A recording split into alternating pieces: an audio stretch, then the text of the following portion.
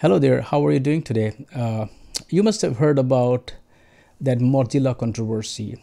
Since I closely monitor the Linux and open source world, there were some folks, so called advocates uh, of uh, the desktop Linux community, uh, who love controversies. Uh, if stirring a, a, pot means more views to their channel, they will do it. It works for them polarizing always works. That's the number one strategy of politicians uh, to divide and rule people. Uh, playing with fears and insecurities, I mean, that's a sure shot formula for success. But uh, when you look at the larger picture, it actually hurts everybody. It hurts open source Linux. So um, coming back to the point of Mozilla, okay, they did a bad thing by injecting Mr. Robot ad. I do like Mr. Robot, though uh, I loved first season, second season just nosedived, and third season is like walking a very thin line. So I'm not as big a fan as I used to be. Uh, but irrespective of the fact how popular the TV show is, or whether it's about privacy or or you know internet and all those things, uh, there's no excuse for sneaking uh, an ad into my browser without my permission. Uh, so Mozilla effed up big time, uh, but the interesting thing is that Mozilla is not the only culprit here. It's, it's becoming a common practice. Uh, just yesterday, I wrote a news item for Linux Pro magazine that Microsoft has enabled a feature in the in Windows 10 where they automatically install suggested apps on user system without notifying them or without seeking their permission. Yes, you heard me right. You leave your Windows 10 system, when you come back, a new application will be installed on it without your intervention. And the problem was that they installed one such app called Keeper, which is a password manager, and there is a known bug in this application that allows a remote hacker or remote attacker to steal credentials from your system like passwords or credit card information. And that was installed on user system. So we don't even know how many people got affected by it. And that's not just Microsoft. Uh, ever since High Sierra was released, Apple has been leaving stupid bugs in its system, especially around password management. Uh, the latest bug was where I wrote about it too, where uh, if you have not created a root password for your user uh, for your system, and most Mac users don't create root password because root is disabled by default. But the problem is that if you do not create a root password, and if you go to system preference or the login screen, and you just type root as a user and you hit the login key couple of time and you will log into the system as root user. So you have all the privileges system wide you can make whatever changes you want through the system. With ios 11 apple did something similar which is more or less like a feature thing where when you toggle the bluetooth or wireless switch off from the pull down menu it doesn't turn off the wireless chips. It only disables or disconnects from the wireless network. The chip chips are still powered and they can still be connected to whatever network Apple wants or whoever wants it. It's not just Apple. Google was found to be where Android was tracking and sending location data to Google even if users disabled location services. I mean, there are so many stories. I can keep going on and on and on. So it's not an isolated case with Mozilla. And that is why you should not live under the rock in your own world. You should look around what's going on too. But the thing is that uh, uh, recently Mike Elgan, he's you know a very prominent writer, and I'm a huge fan of him. His he wrote an article uh, uh about all these topics, and he said that can we really trust our computers anymore? And that is the big question. I wonder if these are honest mistakes or intentions. What is the motive? Are these companies exhausting users with all these shenanigans so that eventually we will accept these as standard practices and say, hey, ah, yeah, I know these companies do these things all the time. Just the way we have gotten used to whatever Facebook is doing. We don't even know anymore what is tracking, what's not tracking. We don't know how it's playing the game of filter bubble and all those things. So people will get used to it. And the even bigger question is who is going to benefit from it?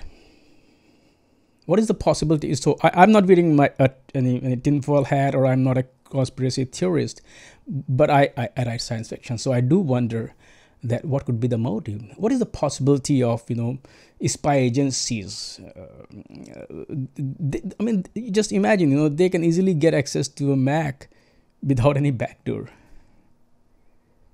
You can, they can track your location without any backdoor.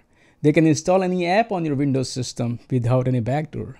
They can sneak any piece of code in a browser without any backdoor. It's all out there and open. So, who is going to benefit from it? So don't don't look at Mozilla what is it's doing. Don't demonize Mozilla. Look at the larger picture, and that's what I think is the case here. It's a bigger problem, and that problem needs to be at a much higher level. Demonizing Mozilla will not help. So you may wonder what is the solution? Well, ideally, our government would have intervened by now, passing legislations that stop these companies from such practices. It's simple. You're not allowed to do, install things on user system without their permission. Just the way you're not allowed to enter my house without my permission. And that's where lies the problem. There has been systematic efforts to erode our trust in the very government that you choose and that we pay for.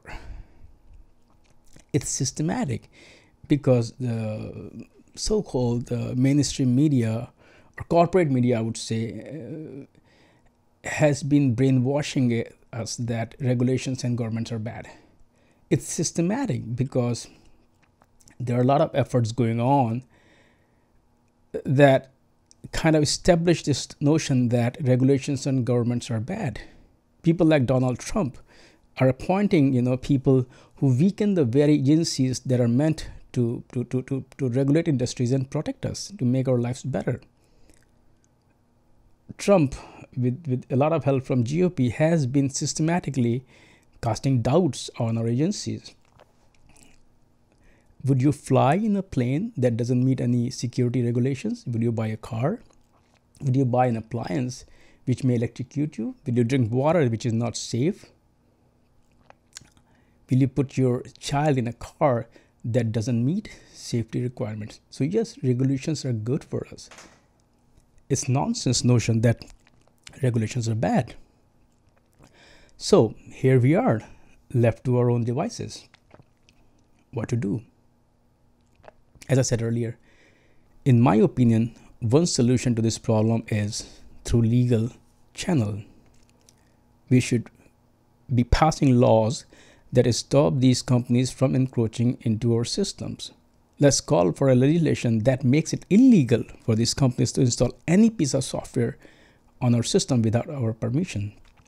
No dirty clauses in EULA or TOS. It's plain and simple. If you want to install something on my system, you need my permission, period.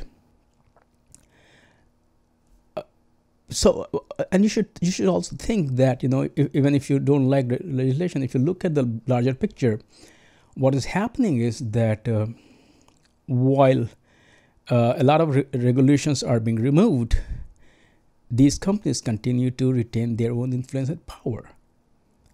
Why should these companies be the only ones to use the legal framework against us with legislations like DMCA while our uh, while uh, all the legislations and all the regulations that were meant to protect us are being removed. I think that we are sliding into a world where companies walk free and people are getting regulated i mean just look at the net neutrality repeal. And and a, a lot of other regulations than the trump administration is is re- repealing. I think it's a systematic destruction of our well-founded system. I don't think that's functional democracy. That's oligarchy, though, and and I think it's it's about time that we start using our legal system, our legal option, which is to pressure our government that we voted for to get such regulations passed. Though I don't have any hopes with the Trump administration and GOP owned Congresses. The, the point is, what will happen to us eventually? Where will we go? What will we become? So, if we don't change, things won't improve. What should we change? I think the number one thing that we need to change is that we should stop being polarized and divided. So, so the first thing that we should focus on is that stop supporting all those people, whether in the tech world or in the in the in the, the political landscape, who polarize and divide us. If you look deeper, you'll find that despite our disagreements and differences, there are a lot of things that are common across the board. So let's find those common grounds and work together. Let's come together as as, as, Linux, Mac OS, Windows, iOS, Android, BSD users. Let's come together as uh, Republicans or Democrats or conservatives or liberals. You know, find those common grounds and work together to solve issues like these. So once again, let's put aside all that nonsense that divide us, you know, within the tech community and send the right people to government who will fight for our rights and freedom. If we don't, we if, if we stand divided as Mac OS user, Windows user, uh, Linux user, uh, iOS user, Android user, BSD user, whatever, we will continue to lose one by one and uh, that is not a very good uh, thing for our country. So I think it's about time we should start looking at these things seriously. We should stop uh, this polarization and division and work together. So that's my opinion about this Mozilla thing because I don't believe it's a small case. It's, it's a very serious problem. Within five or ten years, if we don't fix it, we will not have any control or freedom of computing. So that's my opinion. Let me know what you think